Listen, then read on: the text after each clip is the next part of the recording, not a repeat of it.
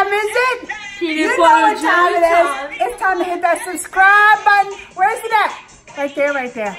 You never know. And it's time to find my Instagram, Geekly Amanda, G-E-K-L-Y Amanda, same on Twitter. And Zach, it's time to get this reaction video started. Oh, it's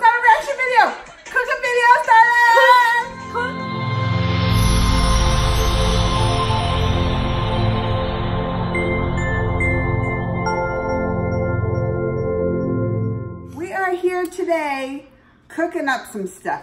I went to the store, the Spice Bazaar, and we got this packet. Can you say that? Galub ja- Jamums. Galub Jamun. Galub jamum. We've had this before. Really? It's like a dough ball thing with syrup and stuff. You might have not have had it. Yeah. But I've had it. And I thought it was delicious. So when I saw this, well, this is like a ready mixed thing to go. So it's already a ready mixed thing. We just got to add some ingredients, fry it up. But but this is how we cook here. I'm going to start Yeah. cooking some galab jalam. I got my helper here, Zach. my son, Zachary. He loves to cook.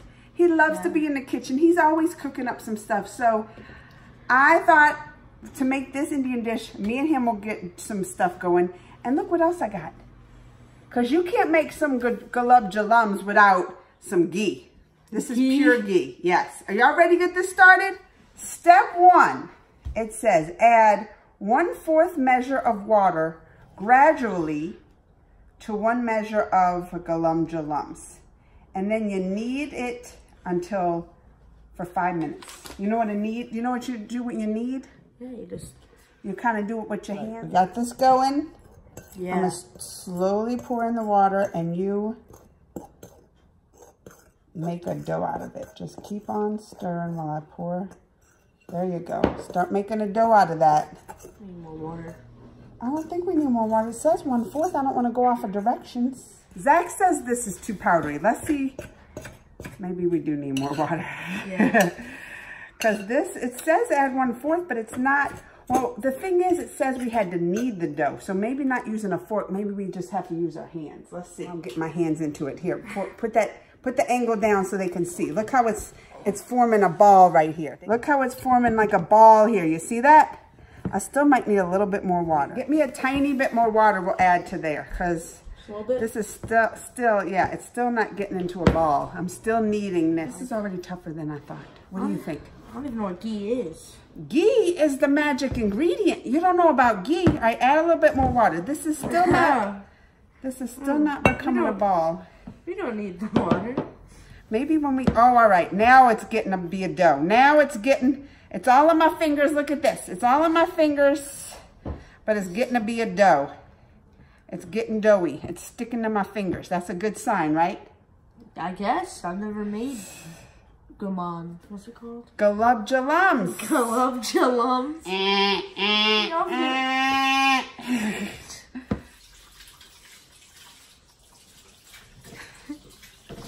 Yeah. You know how to knead, right? Oh yeah. You just gotta like punch it a little bit. Look at him doing it. He's kneading that dough. Get all those crumbs on there together with it. Knead it all together. Look at he. Look at him kneading the galub jalums. But I know galub jalums is made in oil, right? You you form the balls, then you fry them in the oil. Well, here in the states, I don't know if they have this over there, but here in the states we have something called the air fryer. Is that Zach? Tell Oh, them oh, what a magical contraption the air fryer is. The air fryer is basically you just put anything in it, bam, cooked. It air fries it. It makes it Crispy. crispy. But you don't use oil. Oh yeah. You don't use oil. It, it fries it by the air. So we're going to cook our galab jalums in the air fryer. Now, y'all want to see what this air fryer looks like. I'm going to show y'all. This right here is the air fryer. It has a basket. So you put whatever you want to fry in this basket.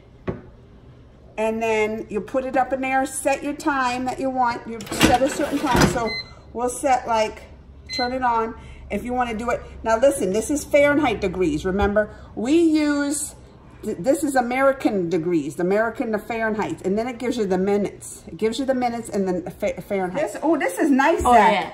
This is a nice ball right he, he has kneaded, he has needed this to the fullest.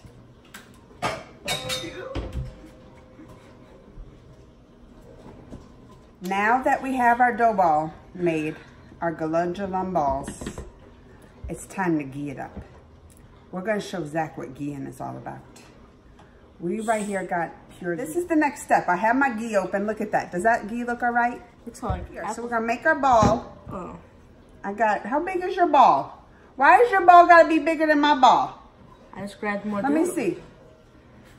You got a bumpy ball. Then what you do, you take a little bit of the ghee on your fingers and you and you grease like your ball. You want a greasy ball with the ghee, all right? I'm gonna ball up all the all the galums and then we're gonna grease the ghee. Uh oh, my ball's coming undone. Take a little ghee ball. My ball's coming undone. How much ghee? I'm really putting a lot of ghee on mine, are you? Yeah. Are you greasing yours really good? Y'all ready to see what these look like before they go in the air fryer? We got our balls in the basket. Take a look.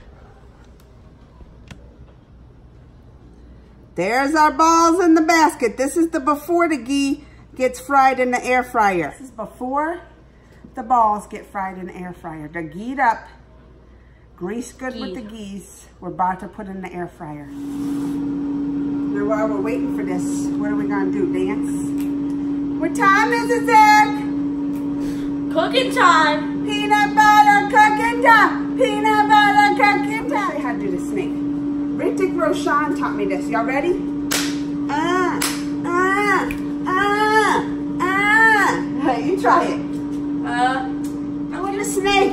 I don't know about Hrithik's dance moves. no.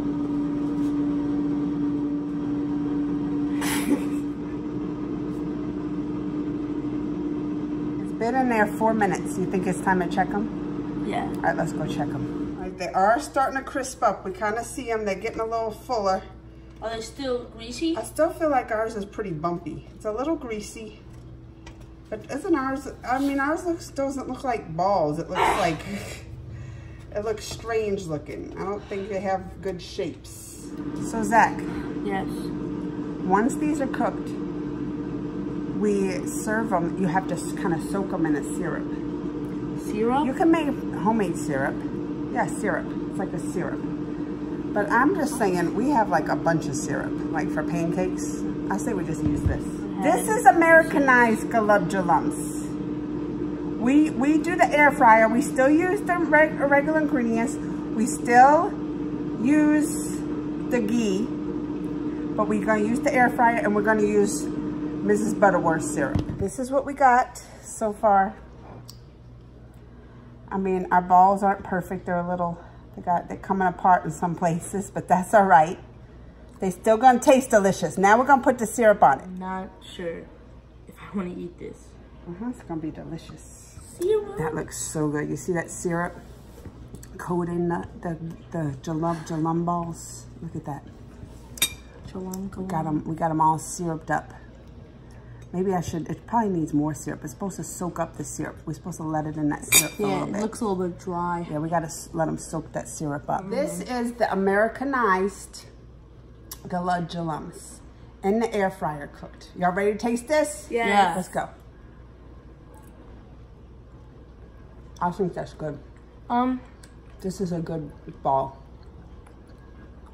Mmm. I don't taste the Oh, you think it's perfect? You love it? Mm-hmm. We love the gulab jalam homemade. Zach wants more ghee. I want more syrup. Ah. He wants more syrup. I can use more syrup too. But these right here were a hit. They're very good. Delicious. I think you did a good job. Oh yeah. Let us know what you think. Comments, thumbs, all that. Till next time. Bye. Mm. Mm. Bye, y'all.